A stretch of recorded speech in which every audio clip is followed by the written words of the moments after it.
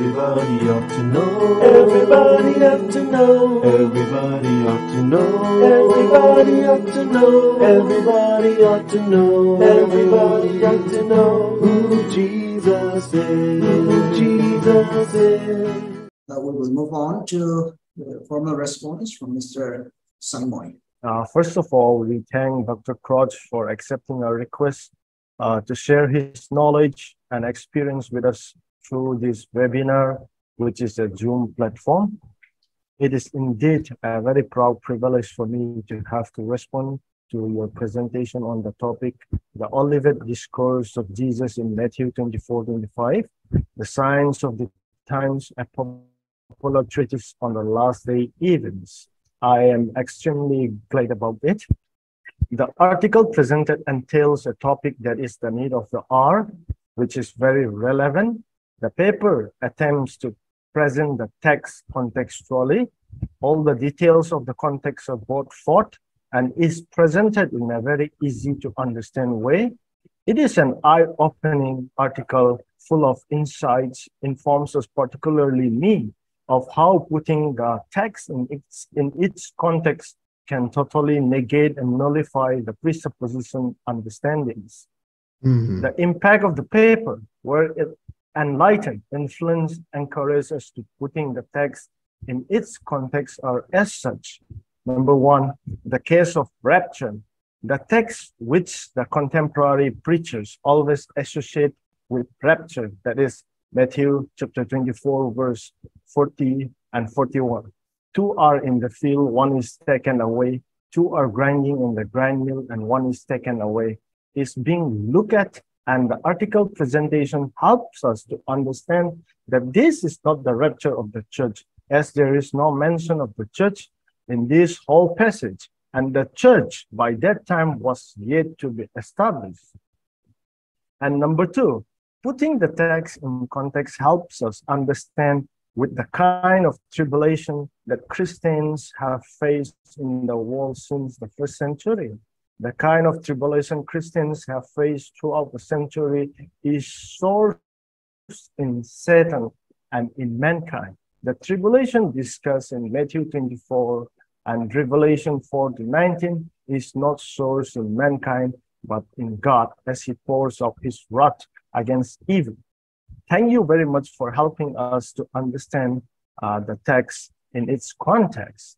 However, I do have some uh, comments that I would like to give uh, in relation to your paper. Uh, the article presented begins with a very relevant current contemporary issue in relation to end times, that is eschatology. But the paper concludes very differently towards Revelation 7 and Israel. The issue raised in the introduction is completely neglected in the conclusion. That is the first uh, comment that I would like to give in relation to the paper. Secondly, I would like to give a suggestion or a kind of response to your paper uh, is that Matthew 24 and 25 is a part of eschatology in the Synoptic Gospel.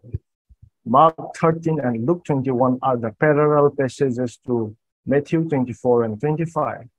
If mention, compare, and contrast is made between the passages. It will add to the understanding of eschatology in a very much clearer way. That are uh, those are my two suggestions that I would like to give in relation to the paper.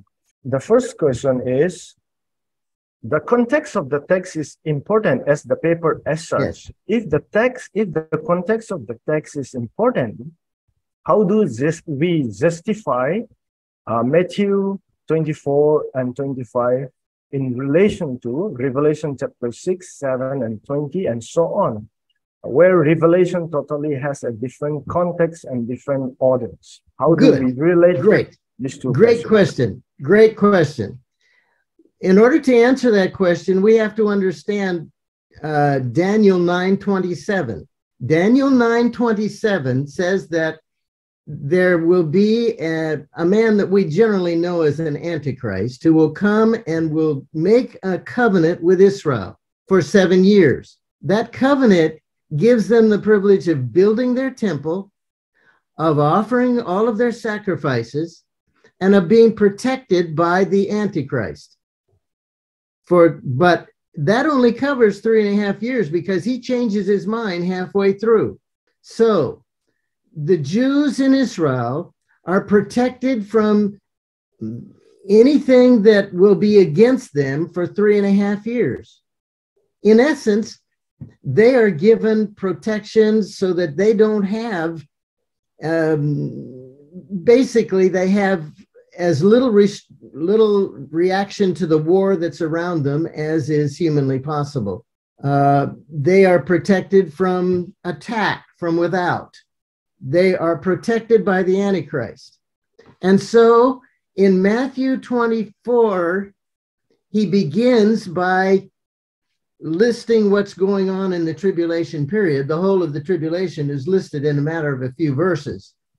But then, then he jumps from there, that summary, to the middle of the tribulation period, the abomination of desolation. The first half of the tribulation period, the Jews are protected by the Antichrist and all of his authority and all of his power.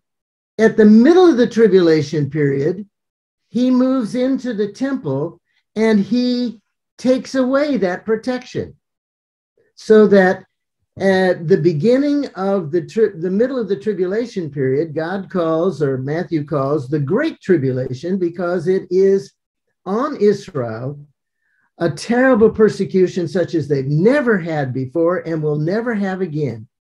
That intensity is from man. Right now, if if the if it were to happen today, we could see that they would be, as as Zechariah uh, tells us, two thirds of those in that southern part of Israel are going to be are going to die. Two thirds of the Jews in that area are going to die. It's only a remnant that, the, that is going to be protected by God. So if we look at what's going on in the world around them, even today, and it'll be worse in the days to come, uh, Lebanon, Syria, uh, well, Israel is circled by Islamic nations. And those with war and, and hatred for Israel are seen in Lebanon, uh, Syria, uh, and the third branch coming up from, from the south in Yemen. Now, why is that important? Because we have a tendency to look at this passage and say, well, the Great Tribulation is described only as the second half of the 70 weeks. So the rapture must take place at the middle of the tribulation period. No, Rapture doesn't have anything to do with this passage, as we saw from, from verses 40 and 41. What's happened is Israel is, is protected in the first half, but the second half, they're no longer protected and they're going to be well they're almost they're almost going to be driven they're going to be driven out and they're almost all going to die except for the ones who are protected now we have to remember that there it's not just they're not just Jews and peoples of Israel in Israel, they're all over the world. And according to Revelation chapter 7 and 8, there he's going to call 12,000 from every tribe all over the world as his ambassadors, his evangelists during the tribulation period. And the second half of chapter 7 shows the tremendous, tremendous response by those who come to faith in him, the great cloud of those who come to faith. Not Jews, but peoples of the world all over the world.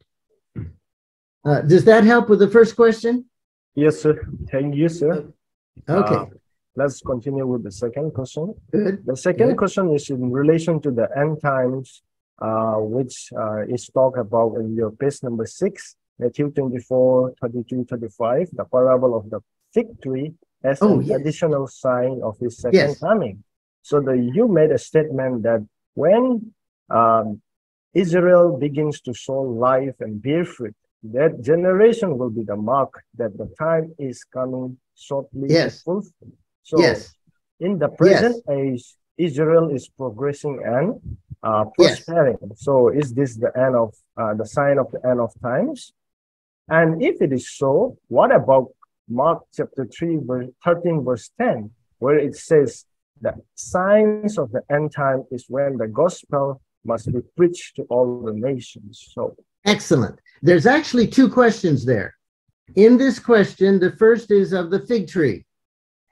The fig tree is used as an example of the fact that, that the generation who sees the signs uh, of, of the people of Israel not only coming back to the land, and uh, fig tree represents is represents the Jewish people, and we understand that the Jews are descendants of the line of Judah, right? So the rest of Israel, the rest of Israel is not coming back to the land.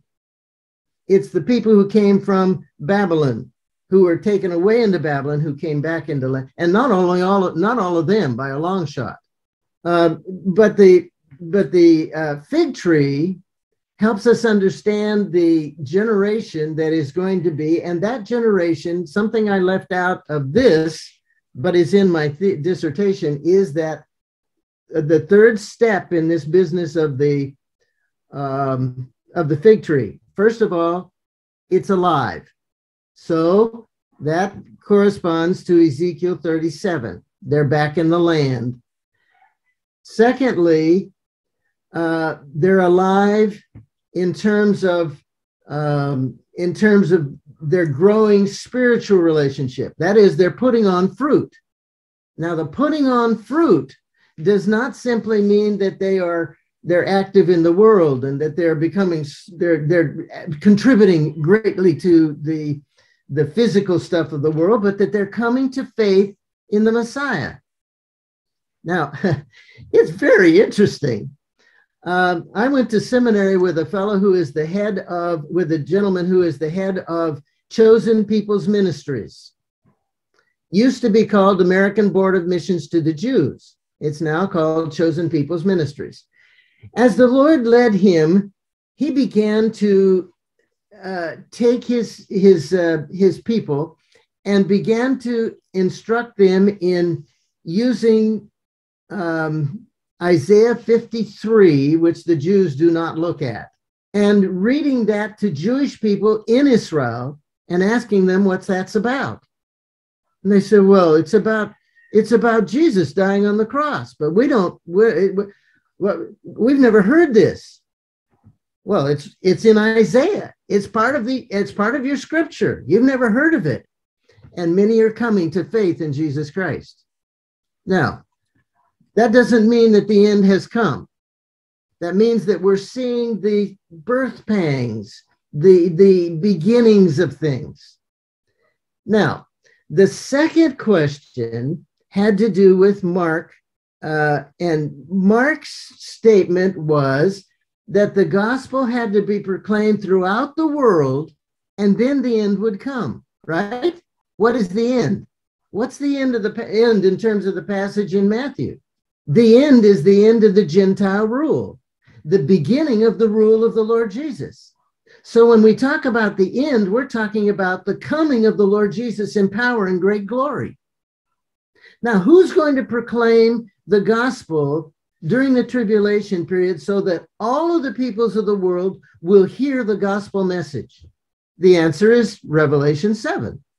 144,000 radical men from Israel, not married, never been married, never had a woman. And their whole drive, if you know anything about Jews who are driven, um, and my our uh, Dr. Uh, Dr. Gupta and myself were part of a seminary that the head of the seminary was a Jewish man by the name of Charles L. Feinberg, Charles Lee Feinberg, driven man. Well, what the Apostle Paul called himself, one born out of due time, he saw himself as a man in the tribulation period. So we're going to have 144,000 men like the Apostle Paul running around this earth proclaiming the message of God's grace. And when that's been done, at the end of the tribulation period, when that's all complete and the whole world has heard the message, the Lord's going to come back to rule. So it's not about it, it it's very much in accord with what's what Matthew has to say. Now, the the other there uh, there was another dimension of that that I being an old man, it just slipped me. So let's go on to the third question, and I'll uh, I'll see if I can remember the other one. Uh, the third question is related to the kingdom of heaven for the Jewish Oh, yes. man in Matthew Yes. 25, verse 1 to 30. Yes. So in in answering the uh, the Jewish man question about the kingdom of heaven, Jesus used the example of Jesus' wedding, purify the kingdom of Yes. heaven. The participants, the listeners, the audience, everybody is the uh, ev- everybody is a Yes. Jew. So in this kind of kingdom, you have said that it will be a physical kingdom on earth. Yes. So Okay. where do we right. Christians as a Gentile stand in this kingdom? Here's here's the answer. First of all, there's two parts to that one. The first one is where is the king today? Is he on this earth? No. He's in heaven. The kingdom is where the king is. Philippians chapter 3 verses 21 20 and 21 tells us that our citizenship is in heaven from which we wait until he comes to change our, our humble bodies into glorious bodies. That's true of every believer of all the ages. He's going to do that for us. Okay. Now, the kingdom of heaven is not just made of, of uh, Jewish people. The, the instruction in Matthew 24 and 25 is only for Jewish people, and that has to do with the kingdom on earth. The kingdom in heaven, where the Lord Jesus is, the king, who's given all authority in heaven and on earth, Matthew 28, uh, that those individuals who are there are individuals who already have trusted Christ and have already passed into heaven's glory. Jews, Gentiles, everybody who has who has come to faith in Jesus Christ. When he comes in power and great glory, he's going to establish his kingdom in Jerusalem, but he's going to rule the world. Now, in the meantime, in the meantime, the Jews want to know when is this going to take place? And how are we going to know when we begin to see some of the some of the little signs that are leading toward that time? And the answer is they're going to know by the description in 24. In the meantime, between now and the time that that takes place, what are the Jews supposed to be doing? 25. The kingdom's in heaven. If their faith is in Jesus Christ, their citizenship too is in heaven. If they don't trust him as Savior, they need to beware. On the earth now, the Jews in Israel need to beware. The time is coming. They're going to be facing the Lord Jesus. They're going to be facing terrible times, and many will die outside of faith in Jesus Christ and will spend an eternity separated from him in the place called the lake of fire and brimstone. So, Matthew 25 is a warning to the Jews who are alive now until the time when the when the uh, kingdom comes. In Matthew 20, uh, 24, it also talks about the fact that he's going to call the elect from all corners of the earth to Jerusalem, to Israel. Well, who are the elect? The elect are not Christians who came to faith in Jesus Christ during the tribulation period. The elect are the Jews because the context is Jews. The Jewish people who live on the earth at the end of the tribulation period, Jeremiah 31, 31 and following tells us that all of those Jews who are alive at the end of the tribulation period are going to have their hearts changed by God from stony hearts to live hearts. Spiritually, they're going to be alive to the Messiah. They're going to come to faith in him. He's going to be their God. Jesus is going to be their God. as well as the Father, who they've worshiped all these years. Jesus is going to be their God as well as their King, and he will be, and they will be his people. But in the meantime, the kingdom's in heaven. Why? Because the king is in heaven. But he's coming. The warning is in chapter 25 while the kingdom is in heaven, it's coming. And you saw the signs of it in 24. So beware, be careful, be prepared. Love the Lord now. So when he comes, uh, it's another matter. Does that help? Yes, sir. Thank you Oh, so much, good. sir. We still have one more question. My doubt is as follows. Eschatology has always been a belief. Hinduism and Buddhism believe in several births before reaching uh, heavenliness. Their belief looks logical since a human being born in a poor family in a bad environment are not in the same platform with others. Is there any explanation? Well, Buddhism, Buddhism is, is, has no foundation in biblical Christianity. Buddhism is founded in Hinduism. If you know anything about the, the, the history of Buddha, Buddha was influenced by Hinduism.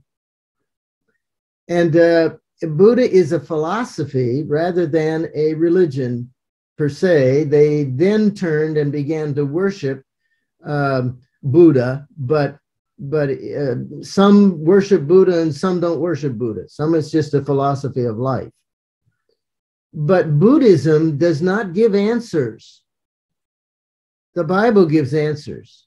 So uh, the the reality of of uh, pain and suffering and poverty and all of that is found in Scripture, not in Buddhism. Thank you, Doctor, for your generosity. Uh, let me first and foremost uh, uh, thank God for the inspiration that He gave uh, to the HBI body to start uh, the new uh, era of webinar that is according uh, the thematic presentation and the first one being the discourses of Jesus. And let me thank the administration for having consented to this idea. And today we are beginning uh, these discourses of Jesus, which would go for another uh, 10 or 11 months. So this is a time for me to thank the administration wholeheartedly. Also, let me uh, thank Dr. Gene, um, whom I contacted two months back, and actually his uh, uh, paper was to be presented uh, last month. Uh, but uh, uh, because of certain um, um, reservations, that is, we had already taken some uh, some professors, so we postponed to this month. And uh, I am happy this month more than 50 persons, uh, almost all have, especially all from HBI have uh, attended this. And um, we are indeed very proud and very happy that this uh, discourses of Jean, uh, Jesus uh, has begun with a very, very remarkable paper uh, from uh, Dr. Gene Crouch. Uh, let me thank him uh, wholeheartedly uh, for his readiness to mm, inaugurate this uh, uh, program with this with your paper, and uh, also for the readiness uh, to clarify any doubt that would come for any of the participants, uh, not only now but in future, uh, and then also his readiness to share his intellectual wealth with uh, with us by sharing his uh, uh, doctoral thesis and so on. So it's a time for me to uh, express my uh, deep and uh, sincere gratitude to Dr. Uh, Gene Crouch. With regard to the presentation of the paper, I must say that this presentation was like a journey. Mm. Uh, it was starting from from Jerusalem. Uh, since I lived in Jerusalem for uh, for one year, I know the topography very well. And then uh, Dr. Gene Crouch started with uh, uh, from the journey from the temple, passing through the Kidron Valley and climbing up the Mount of Olives. And then Jesus sitting just opposite to the temple and in the Mount of Olives, predicting all these things. It was like a, it was a very, very sensational and emotional uh, uh, experience for me. Uh, since I lived there, uh, it touched me very much.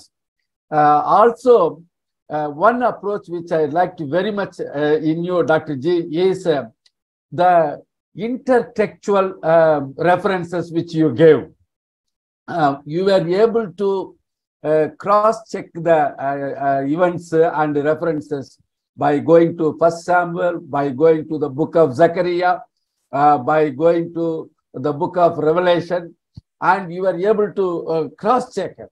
And it was uh, really an enlightenment. And this is the usual approach uh, in most of the Western universities, uh, which I cherished once again after a long time in your speech. So this uh, intertextual references and consolidation is very much appreciated in you. Also, um, the importance that you give uh, for the Matthean uh, Olivet discourse, because in Matt, in uh, Mark, you know, uh, from 11th chapter till 13th chapter only, we have the Jerusalem, uh, Jerusalem experience of Jesus. Whereas in Matthew, we have almost five chapters from 21 onwards till 25. And the central part is the Olivet discourse. And uh, you have taken that and uh, explained to it very elaborately, uh, often referring to the contextual contemporary experiences. So I thank you very much for relating the biblical events also with the present events. Uh, that is also very, uh, very touching and uh, very emotional and very sensational actually, which you have done very tactfully. I appreciate you for that. Then moreover, I appreciate all the participants who have usually uh, we see the number in the beginning 50, 55, 57 like that. By the time it gets over, it will come to 40, 45 like that. But this time I was continuously watching the number. It remained 55 till the end, 57 to 55. it remained. That means uh, the amount of concentration people had in your speech uh, and then the amount of uh, uh, uh, attention that you can you have uh, taken from our participants. So that has uh, really i was just observing from the beginning. And then that shows that people are enraptured with your presentation. Thank you for your wonderful presentation.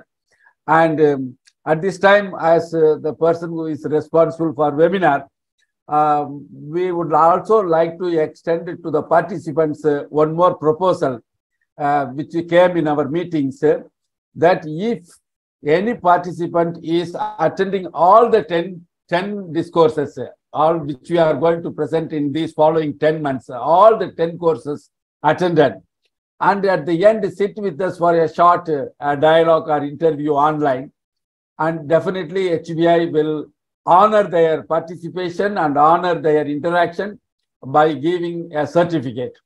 So that is, uh, I would like to, uh, and uh, if possible, we would try to get the certificate uh, online signed by almost all the presenters. So if possible, that would be wonderful because to have a certificate signed by all the presenters, um, especially from the renowned persons who are presenting papers from the, at, at the international level, uh, so that would be wonderful for our participation. It will be a sort of source of inspiration and encouragement.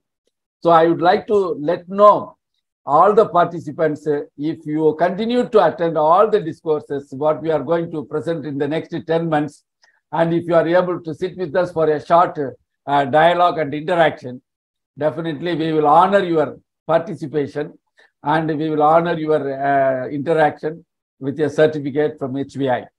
Thank you. And uh, once again, I thank the administration for uh, allowing us to start this new venture. And then I thank uh, Dr. Gene uh, for his presentation. I thank especially um, Mr. Paujic, um, Mr. Um, uh, um, and then the respondent.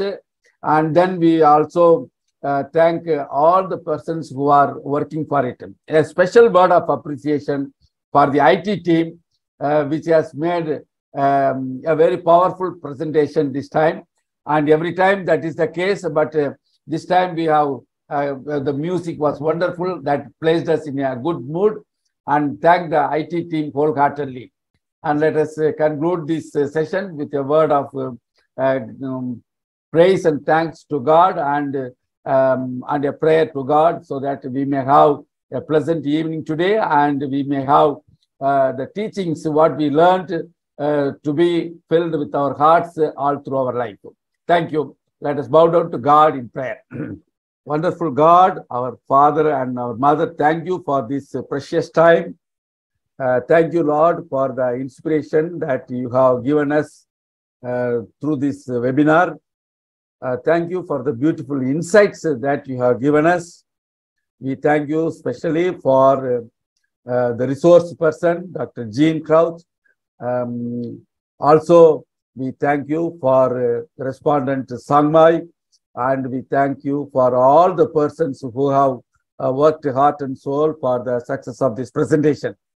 Lord, uh, it is your spirit that has uh, inspired us. It is constantly inspiring us to walk in the ways of uh, you, the Son, as given in the word, in the word which is present in the Bible. Lord, we thank you for uh, this inspiration which you are constantly giving us through the Spirit.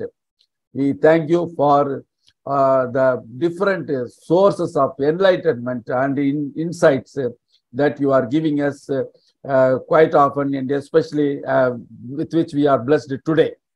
Lord, we thank you for all the good things that you are doing to us, that you are doing to HBI, that you are doing to all the persons who are connected with HBI.